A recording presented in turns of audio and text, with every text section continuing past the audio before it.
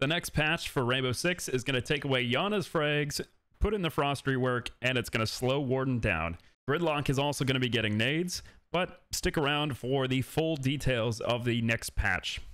All right, so when we look at the full patch notes that's going to be coming in the next patch for Rainbow Six, we've got the frost mat that is going to be reworked so the teammates can revive, and that's going to take four seconds. Same thing with the self revive. The debuff is not going to be applied if you get revived by a teammate. So the debuff is obviously going to slow you down. It lasts 60 seconds and you're going to move 20% slower and you can't sprint. It's also going to leave a giant trail of blood behind you.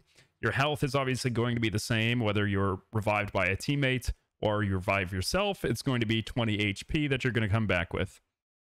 So being caught in a frost mat is being considered down but not out. Therefore, you can only be in a trap once. You can only be down but not out once. So if you fall into a second trap, you will immediately die from that mat. Iana is going to be given stuns, and that's replacing the frag grenades, but she is getting Negon 6 back. So she will still have some sort of explosive in order to get rid of some sort of material, whether it's an evil eye or barbed wire or whatever else you want to use the Gonne-6 on. So at least she has one explosive that she can use in the round.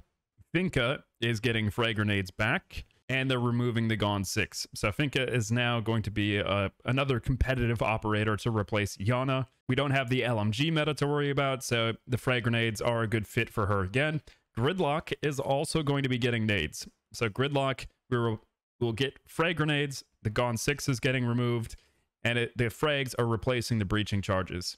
Uh, for PC and console, Sens is going to have a recoil fix. So Sens is going to have reduced vertical and horizontal recoil and reduced recoil after long bursts. So the POF 9 should be better to use after the next patch.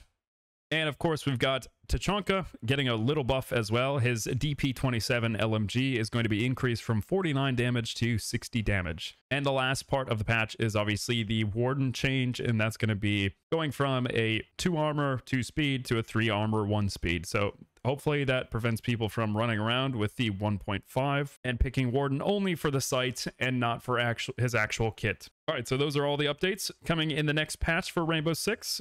If you enjoy Rainbow Six content, make sure you drop a follow for any Rainbow Six news and Rainbow Six content.